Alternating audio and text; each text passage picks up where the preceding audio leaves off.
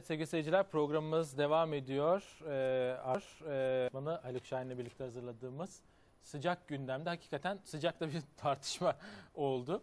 Ee, sanıyorum önümüzdeki dakikalarda yine çok sayıda görüş ayrılığımız olacak. Özellikle bu medya iktidar ilişkileri noktasında. Ee, şöyle yapalım. Ee, bir telefon bağlantımız olacak birazdan. Bu konuyu noktalayalım. Yani bu e, Twitter, e, sosyal medya üzerinden işte bu yas- Şimdi bu- bakın. Bu yaşanan şey çünkü hani geç, geçiştirilecek bir konu değil niye değerli önemli hocam. bak. Niye önemli? Onu bir kere daha hatırlayalım da hatırlatalım. Medya konusuyla bağlantılı.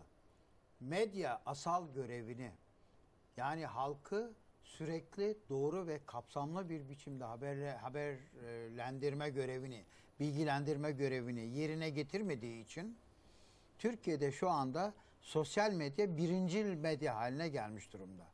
İnanılmaz bir e, mesaj trafiği var. Yani Evet. hakikaten ben Evet, kendim evet. yani normal olarak aldığım mesajın 5 misli mesaj alıyorum. Çünkü büyük bir merak var. E, herkes bir şeyleri öğrenmeye çalışıyor ve bu merak normal kanallar tarafından karşılanamıyor. Tam böyle bir dönemde yani insanların en güvendiği artık yegane diyebileceğimiz haber kaynağının birçok insanın tutuklanması ya da gözaltına alınmasıyla yani bu türden trafiğin korkutularak Evet. cesaret dışı bırakıldığı bir dönemde İzmir'de olup bitenler ifade özgürlüğü açısından hakikaten çok ciddi bir sorun olarak karşımıza Tam çıkıyor. da bununla ilgili bilişim hukuku uzmanı telefon attığımızda e, Sayın Nihan Güner'i. Nihan Hanım iyi akşamlar. İyi akşamlar, merhabalar. E, merhaba. Nihan Hanım hemen sormak istiyorum. Bu e, İzmir'de yaşanan e, gençlerin gözaltına alındığı olayla ilgili sosyal medyadaki paylaşımları nedeniyle e, evlere baskınlar düzenleniyor ve çok sayıda genç gözaltına alınıyor. Bilişim hukuku açısından bunu nasıl değerlendiriyorsunuz? Ee, yani bilişim hukuku açısından nasıl değerlendirdiğimizden önce Türk Ceza Kanunu'nun ilgili maddeler açısından değerlendirmek belki daha mantıklı. Ee, çünkü bilişim hukuku dediğiniz zaman aklınıza ilk 5651 sayılı kanun geliyor ve şu an yapılan şey 5651 sayılı kanunla hiç alakası yok. Ee, bilakis Türk Ceza Kanunu suç işlemeye tahrik ve e, 217 e, sayılı maddeleri e, üzerinden gidiliyor. Üstelik bir de organize suç e, olduğu söyleniyor. E, biz tabii iddia bakamadık iddianamenin ne olduğunu ama e, medyadan takip ettiğimiz kadarıyla olanlar bu yönde. E, dolayısıyla Twitter üzerinden yazılanların e, Türk Ceza Kanunu bakımından ayrıca bir değerlendirmeye tabi tutulması söz konusu. Bilişim hukuku bakımından 5651 sayılı kanun geçerli biliyorsunuz. Orada yazılanlar e, üzerinden bir e, değerlendirme yapmamız şu an için mümkün değil. Dolayısıyla iddianameyi önce görmemiz gerekecektir diye düşünüyorum ben. E, bu konuda söylemek istediğim e, çok önemli bir husus var. E, ifade özgürlüğünün e, çok önemli olduğunu düşünüyorum ben. E, öncelikle ifade özgürlüğünün Twitter ve sosyal medya e, kaynakları bakımından e, kısıtlanmaması gerektiği kanaatindeyim. Dolayısıyla suç ne olursa olsun ki az önce siz kendi yayınınızda da belirttiniz. Sopa yediysek ölmedik ya direnmeye devam gibi tweetlerin Evet. e, suç teşkil ettiği konuşuluyor. Ben hiç aynı kanaatte değilim. Bunu belirtmek istiyorum. Evet e, Nihan Hanım çok net ifade ettiniz. Çok teşekkürler. Hocam e, var mı soracağınız soru? Yani, e, bu Avrupa İnsan Hakları e, Mahkemesi'nin aldığı kararlar ve Avrupa'da e, Avrupa bizi özellikle ilgilendirdiğine göre oluşmakta olan oluşmakta olan e, kanılar e, genel e, içtihat diyelim e, ne yönde bir şey söyleyebilir miyiz bu konuda? Ee, Avrupa İnsan Hakları Mahkemesi'nin son verdiği kararlar özellikle e, site kapatmaların hatta 5651 sayılı kanunun tamamen ifade özgürlüğüne aykırı olduğu yönünde. E, ancak dediğim gibi Twitter'daki e, ifadeler e, yani özgürlüğüne aykırılık teşkil etmediği için yani Avrupa İnsan Hakları Mahkemesi kararlarından ziyade Türkiye'nin de taraf olduğu Avrupa İnsan Hakları Sözleşmesi bakımından değerlendirmek lazım bunu. E, belirtilen e, ifadeler 214 ve 217. maddelere aykırılık teşkil ettiği söylenmiş savcı tarafından. Fakat ben e, toplantı ve gösterişlerine davet, e, politik mesaj verme, kendiniz yani ben de Twitter kullanıcısıyım, sizin de öyle olduğunuzu biliyorum. E, bizim tarafımızdan çekilen ve normal medyada yayınlanmayan e, geleneksel medyada yer almayan görüntülerin e, Twitter üzerinden paylaşılmasının hiçbir şekilde suç teşkil etmediği kanaatindeyim. Evet. E, Avrupa İnsan Hakları Mahkemesi'nde aynı kanaatte olacağından eminim. E, dolayısıyla ben bu iddianamenin e, daha hazırlanmadı tabii ki iddianame ama Evet. bu gözaltıların örgütlü suç kapsamında 4 güne kadar sürebileceğini düşünüyorum. Umarım olmaz tabii ki. Çok genç insanlar söz konusu. E, Yani siz tutuklama beklemiyorsunuz. E, ya tutuk öyle bir şey demem söz konusu değil tabii ki savcının e, kanaati ama e, tutuklama olmaması gerektiğini düşünüyorum. Ama şöyle de bir şey söyleyeyim. Eğer tutuklama olacaksa bunlar da e, bence önce belediye başkanlarının attıkları tweetlere bakılmalı. Sizi bir kaşık suda boğarız. E, sopa yediysek ölmedik ya direnmeye devamdan çok daha ağır bir suç teşkil etmekte. E, dolayısıyla savcılar eğer bir görev başına geçeceklerse bu konuda görev başına geçsinler önce. Çünkü e, bu konuda önemli olan bir husus şudur. E, sizin ifade, ifade özgürlüğünüzü kullanırken Twitter üzerinden ne yazarsanız yazın e, sizi takip eden insanların sayısı ve sizin konunuz çok çok önemli. Yani kamuoyunun bilgilendirilmesi ve ifade özgürlüğü kapsamında değerlendirilmesi gerektiğini söylüyoruz ama atan kişinin niteliğinin de çok önemli olduğunu düşünüyorum ben. E, burada öğrenciler söz konusu. Takip eden kişiler, ben bugün baktım e, gözaltına alınan öğrencilerin bir kısmına 50, 100 belki 1000 kişi takip ediyor onları. E, 1 milyon kişinin, 2 milyon kişinin takip ettiği insanların sizi bir kaşık suda boğarız dediği bir ülkede Yani daha savcılar göreve gitmiyorlar Evet. e, ve öğrenciler için gidiliyor. Yani ben hukukçu olarak bir hukuk fecaatinin yaşandığını düşünüyorum şu anda. Ee, Ben Evet, bir şey sorabilir miyim ee, Nihan Hanım? Ee, şimdi e, 38'e çıkmış gözaltı sayısı gelen son haberlere bakılırsa Evet, evet. ee, şimdi bu e, gençler daha ziyade e, 20'li yaşlarında olduğunu e, söylüyorlar. Öyle e, biliyoruz. E, Twitter'da söyledikleri yüzünden gözaltına alındılar. Fakat olay bundan ibaret kalmamış. Bu insanların adresleri tespit edilmiş bir şekilde ve Evet. evlerine gidilmiş. Hatta konu komşulara haberdar edilmiş çünkü evde kimse yokmuş. Hani polis geldiğinde bir tutanak tutulacağı için komşular e, hazır e, bulunmuş orada Evet. e, belli ki arama sırasında. O konuda o konuda Bu şöyle bir şey yapılabilir söylemek mi? istiyorum. Bu yapılabilir mi? Yani komşuların haberdar edilmesi tabii ki söz konusu Hayır, olabilir. hayır. Sonuçta bir Evlerin aranmasından söz ediyorum. Yani bir Twitter mesajından yola çıkarak ev e, aranır arama mı? kararı verilebilir. Evet arama kararı verilebilir. Ancak şöyle bir şey ifade etmek istiyorum ben özellikle bilişim hukuku bakımından. Yani ben e, ceza hukukçusu değilim özelde bilişim hukuku yaptığım için. E, şimdi şöyle bir Yaman hocamızın da bugün e, ifade ettiği üzere Twitter genelde IP vermiyor. Yani e, hangi tweetin kim tarafından yazıldığı, ne zaman yazıldığının tespiti son derece güç. Çünkü Twitter'ın Türkiye'de bir e, ofisi yok. E, ancak burada şöyle bir şey söz konusu olduğunu düşünüyoruz. Biz sayının çok çok az olmasından hareketle. E, Facebook biliyorsunuz Türkiye'de bir hukuk bürosuyla da çalışıyor. Kendi ofisleri de var. E, ve bilişim e, şubeyle de yakından çalışıyorlar. Herhangi bir e, log takibi ve IP verilmesi söz konusudur. Ben bu öğrencilerin daha doğrusu bugün gözaltına alınan diğer insanların e, Facebook ve Twitter'ı aynı anda hesap üzerinden kullandıklarını düşünüyorum. Dolayısıyla adreslerine de e, Facebook üzerinden olması kanaatinde. Bilmiyorum tabii benim kendi düşüncemdir. Belki doğru değildir ama e, böyle olabileceğini düşünüyorum. Ya- E, arama kararı da Evet. verilebilir. Onu da Evet. söyleyeyim. E, ayrıca öğren yani tutuk ya gözaltına alınan e, kişilerin e, telefonlarına da el konulduğu söyleniyor. Bilemiyorum tabii yine ne kadar doğru bizim Nihan Hanım e, ya takip bir, bir, bir son dakika gelişmesi paylaşayım. Şu, şu sıralar gençleri bırakmaya başlamışlar. Aa, çok güzel. Evet, ne o- güzel. Çok. Evet, çok güzel. e, o geldi. Yani bu örgütlü suç kapsamına sokulmuş da olsa herhalde o kapsam dolayısıyla evlere O konuda biraz bilgi vermek istiyorum. Ben çok özür diliyorum. Örgütlü suç kapsamına sokmanız için TCK 220'dir o. Ee, örgütlü suç kapsamına sokabilmek için devamlılık ve doğrudan kast aranır. Gerekçesinde birebir yazar. Bu olayda zaten böyle bir şey olmadığı insanların birbirini tanıması belki e, gerekmiyor ama e, Sosyal medya üzerinden örgütlenmek de herhalde aşikar. bu kapsama girmez. Sosyal medya üzerinden örgütlenmiş olmak da bu kapsama girmez herhalde. Yoksa yani ben sokamıyorum en azından öyle söyleyeyim. Evet. Çok teşekkürler Nihan Hanım. Ee, İzmir'den e, böyle bir iyi haber geldi. E, devamında bakacağız. E, Gökmen'e bağlanacağız. Ay, evet, Ailelerin evet, bir kısmı sevinç içindeymiş. ifadeler alınmış, Çok bırakılmış güzel, ama çok. savcı. Evet, savcı ne e, iddianamede ne diyecek ya da e, tamamen Yani belki dava açacak mı, belki dava açmayacak açıp mı? açmayacağı da belli değil. O, Bana o- sorarsanız onu göreceğiz. bundan bir şey çıkmayacağı çok açık. Ben bunun gençlere bir gözdağı vermekten e, ibaret olduğunu düşünüyorum. Evet. Yani e, aman Facebook'a girme. Şimdi anneler başlayacak. Facebook'a girme evladım aman sakın. Evet, Twitter'da bir şey yazma evladım. Aman oraya gitme evladım. Telefonda konuşmadan şimdi İşte evet, Facebook'a ona girme geldi. olayına Ona kadar gelecek, tabii. geldi. Ee, bu e, bu ileri demokrasi isterseniz medya bağlamında da tartışmaya demedim. başlayalım. İleri demokrasiyi ben demedim Murat Bey. Vallahi Ben Tuncay Bey. yani. Tuncay Ben, Bey. ben moderatör olarak zaman zaman böyle konuşmak zorunda kalıyorum. Murat Beyciğim kusura bakmayın. Estağfurullah. Ee, e, ş- medyayı konuşalım. Çünkü e, olağanüstü bir tepki vardı Evet. hakikaten medyaya. Ee, Ama burada medyaya geçmeden önce bu konuyla ilgili ben de bir, birkaç noktayı ifade etmek istiyorum.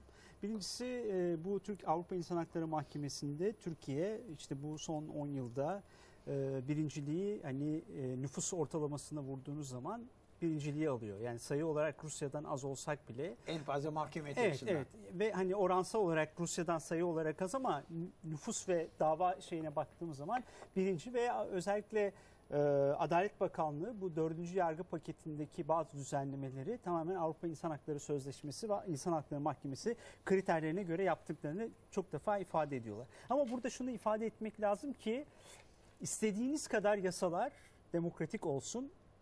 Mesele hukukun ya da hukukçuların o yasayı hangi zihniyet içinde okudukları. Burada yine geliyoruz hani insan malzemesi ve zihniyete. Dolayısıyla da elinizdeki en otoriter tırnak içinde yasayla özgürlükçü bir yorumla en az davayı yani en az suçu öngörebilirsiniz ya da en özgürlükçü yasayla en otoriter kararı verebilirsiniz. Ki biliyorsunuz 3. yargı paketi çıktığında meclisin bütün kaygısı şu andaki tutuklu milletvekillerini salıvermekti. Ama mahkemeler ne yazık ki ona izin vermedi ve hala 8 tane milletvekili, 8 ya da 9 milletvekili tutuklu. Şimdi ve bu Türkiye'nin bir ayıbı. Ama Bunu- aynı bunu da meclis çok daha açık ve net yeni bir yasa yapıp o kapıları gene de açabilir. Açabilir. açabilir tabii ki. tabii Yani ki. MİT Yani bu- bu müsteşar işte- için aynen. yaptığını oradaki sadece onlar için değil. Bugün Füsun Erdoğan, e, pardon dün Füsun Erdoğan diye bir genç hanımın, e, kadının e, mahkemesi vardı. Özgür Radyo kurucusu.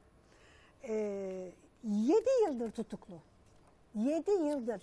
Ve dünkü duruşmada tahliye bekliyorlardı artık düşünün ne kadar olmuş. Ve birlikte tutuklanmadığı dava e, arkadaşları diyelim hepsi serbest bırakılmış. E, bugün ablasıyla konuştum Füsun Erdoğan'ın mahkemesi Eylül'e ertelenmiş. Şimdi bir insanın hayatından 7 yıl evet. Artı 7 yılda Mart'ta e, tutuklanmış.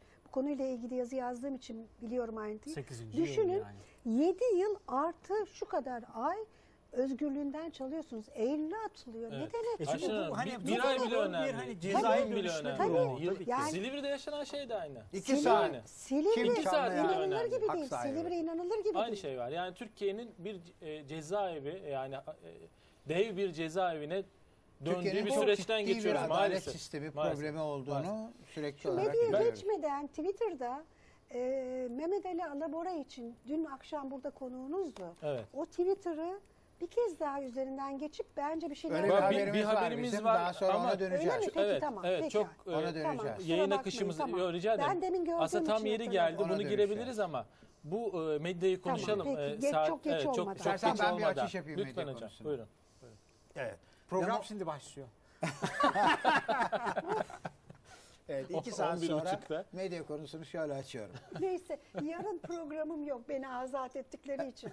Geç kal- gece kalabilirim Evet. hiç önemli. Seyircilerimize sabır gösterirse bu programın da ucu açık. Evet, Bir reklam ama arası yani vereceğiz. bu kadar güzel bir grup bir araya girmişken e, umarım e, seyircilerimiz de şimdiye kadar ki kısımda sıkılmamışlardır, yararlanmışlardır. En azından e, Ayşenur'un e, üstün form göstermesi. Hayır yani Ve, değil bu e, şey. Hani heyecan dozu yüksek bir kadınım saklamıyorum hep öyleyim. Evet. Programda Evet, ne da güzel. öyleydi. Biz tabii Buyurun e, seni onun için her zaman çok sevmişizdir. Sağ ol. Çünkü e, söylediğin şeyler yürekten gelen şeylerdir. Şimdi demokrasilerde medyaya çok önemli bir rol verilmiş. Çünkü demokrasilerin arka planında Ama tırnak içinde demokrasilerde Türkiye evet, Evet, Türkiye'den aynen. bahsetmiyorum genel olarak yani Evet. klasik demokrasi teorisinde Evet. Ne olur çok affedersin. Şunu bir e, Evet hocam onu anlatayım. Şimdi Anlatalım. ekranlara da verdik. Şu an Taksim çünkü. Meydanı'nda e, Neşeli Günler filmini izliyor oradaki direnişçiler, Harika. eylemciler. Evet. E, Ama film de Türk, Türk sinemasının unutulmaz Günler. unutulmaz filmlerinden Hani biri Türk- Adile Naşit, e, Münir Özkul. evet, Türkiye'nin de Şener çok neşeli evet. günler yaşadığı bir dönemde Evet. Pek Taksim uygunmuş. Meydanı şu anda Neşeli Günleri Pek- izliyor. pek evet. neşeliyiz. Buyurun hocam. Harika. Demokrasilerde e, yurttaşların e, bilgili ve haberdar olması gerektiği asgari bir varsayımdır. Yani bilgili ve haberdar olmayan yurttaşlardan oluşan bir ülkede demokrasinin olamayacağı, işleyemeyeceği klasik demokrasinin temel öncüllerinden biridir. O yüzden medyanın görevi bir lüks değildir. Medyaya verilmiş bir eee, imtiyaz değildir. Demokrasinin onsuz yaşayamayacağı bir şeydir. O yüzden eee, medyanın bir bütün olarak veya kurumlar olarak biz eee filanca şeyleri yapmayız, halkı haberdar etmeyiz, halkı habersiz bırakabiliriz, bu bizim hakkımızdır. Çünkü biz özel bir işletmeyiz ya da biz devlet kurumuyuz deme lüksleri yoktur. Demokrasiden bahsediyorum. Böyle bir dönemde eğer bir ülkede son örnekten yola çıkayım. Ee, Gezi Parkı'ndaki olaylara benzeyen büyük çapta, ülkenin kaderini değiştirebilecek çapta bir olay ortaya çıktığında o medyanın dörtte üçü sanki o ülkede hiçbir şey olmuyormuş gibi davranırsa A. Kendisine demokratik olarak verilmiş olan görevi yerine getirmiyor demektir. B. Bunu yaptığı için geniş kitle tarafından güvenilmeye layık olmadığını ortaya koyuyor demektir. Bu kez bunu yaşadık bir. Fakat iki yeni şey çıktı karşımıza. Bunlardan bir tanesi bu sosyal medyanın Türkiye'de gittikçe yaygınlaştığı ve etkili bir biçimde kullanıldığı bir dönemde cereyan etti. Yani medya görevini yapmadı ama halk olup bitenleri öğrendi. Sonuç medyanın lüzumsuz olduğu şeklinde yani en azından haber verme açısından lüzumsuz olduğu şeklinde çok da haksız olmayan bir kanı çıktı ortaya. Yani bu Evet. e, fevkalade önem taşıyor. Bunun ötesinde gene bu kez o Gezi Parkı'ndaki kalabalık nasıl oradaki ağaçların kesilmesi ve oradaki o arazinin ilerideki kullanımı konusunda fikir beyan ettiyse aynı şekilde medya kurumlarının görevlerini yerine getirmemesiyle ilgili olarak da fikir beyan etti. Kalktılar gittiler bir takım medya kuruluşlarının önünde gösteri yaptılar. Evet. Bu çok önemli. Bu da ilk, bir ilktir. İlktir. Tabii Evet, bizim çok çok tarihimizin geçmişinde gazetelere saldırı olayları vardır. Ama onlar saldırı olaylarıdır. Bu protesto. ise doğrudan Protesto. doğruya Tabii protesto arkadaş sadece. görevini yap. Evet. Bu açıdan Son derece toplum da demokratik. siyaseti keşfediyor. Bu aslında bu protestolar bir tür siyaset. Önemli olan bu protestoları siyaseten anlamlı hale getirebilecek bir yapısallığa dönüştürmek. Ve ne oldu biliyor musunuz Murat Bey? Sonuç da aldılar. O güne kadar penguen filmleri gösterenler, o güne kadar yemek e, programları koyanlar bu protestolar üzerine birdenbire e, kendilerinin çok ciddi bir şeyi kaybetmiş olduklarını daha da fazlasını kaybedebileceklerini anladılar. Yani habere at ihale kap anlayışıyla medya patronluğu yapan bir takım insanlar bu durumun kendilerine daha da pahalıya patlayabileceğini gördüler. Bu Türk medyası açısından, Türk basını açısından önemli bir ileri adımdır. Umarım bundan sonra eee, tekrar eski durumlara dönülmez. Biz artı Hocam- bir olarak Evet. tabii Ben- Bence orada siz çok umutlusunuz. Ben o kadar umutlu olduğunuzu düşünmüyorum. umarım Hocam diyorum. bir, Evet. bir, bir, bir cümle girip sonra reklama gireceğim. Çünkü son reklamımızı vereceğiz sonra rahatız. Ben artı bir için bir şey söyleyeceğim. Biz ana akım medyada yer alan bir e, televizyon kanalı, kanalıyız. Yani haber kanalı değiliz. Haber kanalı altyapısına sahip değiliz. Öyle bir organizasyon yapımız yok ama buna rağmen ilk İdeolojik günden bir itibaren angajmanımız yok. ne, ne herhangi bir siyasi iktidardan ne parti muhalefetten bağımız hiçbir bağımız yok. Bağımsız bir kanalız. Buna rağmen ilk günden itibaren bu toplumsal e, olayı e, ekranlarımıza taşıdık. Yayın akışımızda değişiklikler yaptık. Ve onun etkisiyle de hakikaten bugün e, Taksim Meydanı'nda rahatça kameralarla, mikrofonlarla dolaşabilen 2-3 kanaldan biri olduk. E, asıl büyük tepki haber kanallarına gösterildi. Çünkü adı haber kanalı ve onların önünde eylemler yapıldı. Bunun e, detaylarını tartışacağız. Sonra reklam aramızı vereceğiz. Sonra rahatız. Kısa bir aradan sonra beraberiz.